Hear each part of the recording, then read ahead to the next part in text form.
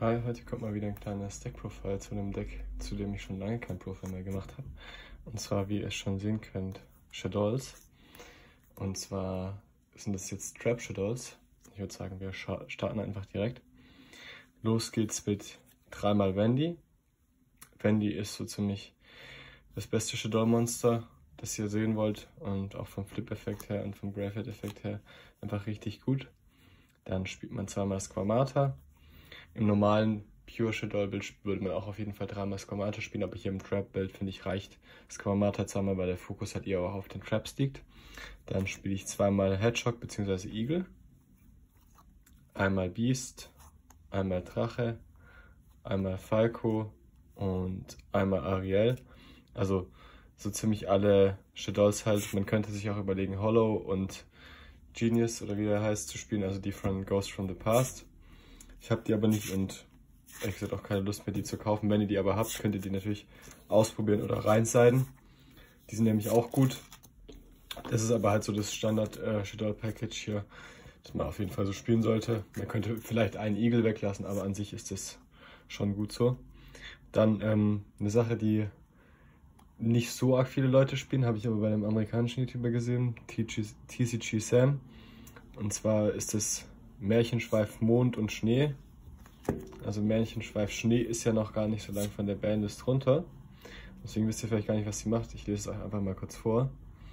Also, falls diese Karte als normale Spezialbeschwörung beschworen wird, du kannst ein offenes Monster wählen, das der Gegner kontrolliert, ändere es in die verdeckte Verteidigungsposition. Also ist halt Book of Moon.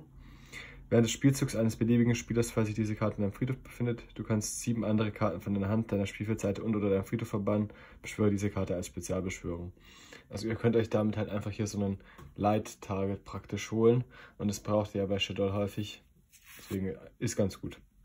Dann ähm, Fairy Tale Mond, auch eine Karte, die nicht so viele Leute spielen. Wenn man die hier beschwört, kann man sich nochmal sie hinzufügen. Auch wie gesagt gut für ein Light Target braucht man halt einfach für Konstrukt.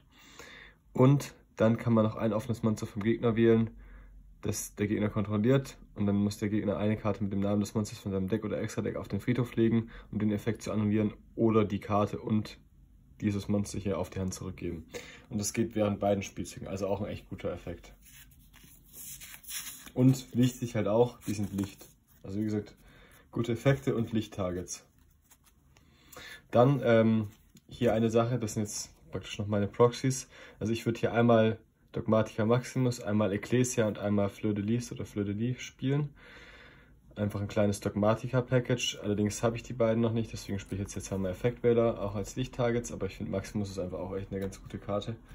Natürlich als One-Off sieht man den nicht oft, aber naja, whatever. Dann kommen wir zu den ähm, Zauberkarten.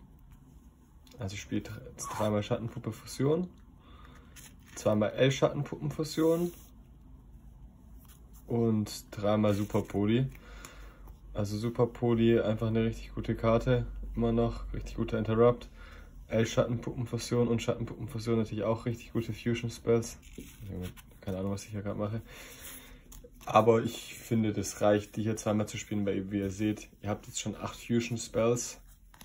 Und ja, das sind eigentlich genug. Kann aber natürlich auch noch die letzte Shadow Fusion spielen. Dann kommen wir zu den Traps. Einmal Rashador Incarnation und einmal Schisma.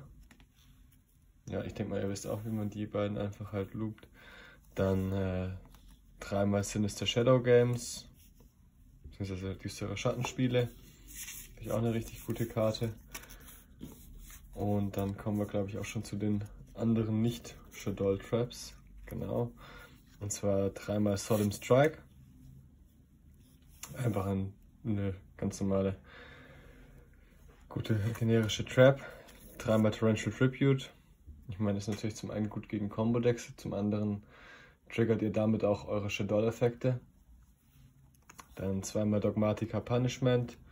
Natürlich auch sehr gut. Ähm, zum einen könnt ihr Abkalon schicken, zum anderen könnt ihr Entis schicken. Und zweimal Dynamiscus auch sehr gut, weil damit triggert ihr auch eure Shadow-Effekte. Also das sind jetzt alles Karten, mit denen ihr auch eure Shadow-Effekte triggert. Bis auf Solemn Strike. Für Solemn Strike kann man aber natürlich auch noch irgendeine andere gute Trap spielen. Das ist euch überlassen. Dann kommen wir zum Extra-Deck. Also, ich spiele dreimal Konstrukt, einmal auch mit dem alten Artwork. Ja, gibt auch Builds, wo Leute die nur zweimal spielen. Würde wahrscheinlich auch ausreichen, aber naja, ich wüsste nicht, was ich jetzt sonst groß spielen soll. Dann zweimal Winder, also die reicht auf jeden Fall auf zwei. Zweimal Abkalon. Könnte man sich überlegen, auf drei zu spielen, aber ja, finde ich reicht eigentlich auch zweimal. Einmal Schattenpuppe Konstrukt. Einmal Strickscharf. Einmal Gravity Controller. Nightmare Phoenix Borosword Dragon. Also halt einfach ein bisschen Damage machen zu können. Und dann hier halt noch so zwei Super Poly Targets. Hunger Fusionsdrache und Mud Dragon of the Swamp. Und dann auch noch ältestes Wesen Entes, natürlich auch als Target für euer Dogmatica Punishment. Ich meine, ich habe auch nicht Nadir Servant. Nadir Servant könnte man natürlich auch zweimal spielen und dafür irgendeine Trap rausmachen. Klar, Dogmatica Package ist halt immer noch einfach gut und passt gut. Kommen wir jetzt zum Side Deck. Ähm, ja, ein bisschen random, dass ich Called by the Grave im Side Deck habe, aber ich finde eigentlich, zum Beispiel gegen Eltlich oder so, macht es Sinn, die Karte trotzdem noch rein zu sein. Wenn ihr Eltlich banisht, dann ja, was will euer Gegner dann groß machen. Dann äh, ganz normale andere Handtrap, Lancia, ist halt auch Licht, deswegen spiele ich die Impermanence dreimal. Dimensional Barrier, also kommt halt einfach ganz drauf an, was ihr für Matchups habt. Zweimal Solemn Judgment, Fallgrube des Totengräbers und, was ich mir auch noch überlegt hatte, einmal Endlich oder zweimal Endlich in dem Deck zu spielen. Man muss ehrlich sagen, habe ich noch nie ausprobiert, aber ähm, denke, es könnte funktionieren. Also das Deck an sich, wenn es ohne die Dogmatika-Karten spielt, die ich ja auch nicht habe, ist es wirklich sehr günstig. Einzigen Karten, die jetzt hier teurer sind, sind so Karten wie Antis und Boral Sword Dragon. Ich glaube, alles andere kostet wirklich nichts. Also, das sind ja alles Karten, die sind auch im Shadow Structure Deck drin. Auch im Main Deck ist eigentlich nichts Teures drin. Also, wenn man sich das so anschaut, sind keine teuren Karten drin. Die Karte kostet ja auch nichts mehr. Geschisma kostet zum Glück ja auch nichts mehr. Okay, Super Poly kostet 1 Euro oder so, aber das ist halt auch schon wahrscheinlich das teuerste im Main Deck. Und äh, Fairy Tail Schnee kostet auch 2 Euro oder so. Aber alle anderen Karten kosten fast nichts. Also wenn ihr auf Card Market euch das Deck so zusammenstellt und jetzt nicht auf irgendwelche Rarities oder so achtet und vielleicht Entis rauslässt und stattdessen noch einmal App Cologne spielt oder statt Boral Sword Dragon Boral Lord Dragon spielt, dann kommt ihr bestimmt mit unter 50 Euro weg. Und dafür ist es wirklich ein sehr starkes Deck. Also ich hoffe, euch hat das Video gefallen. Lasst gerne ein Like und ein Abo da und bis zum nächsten Mal.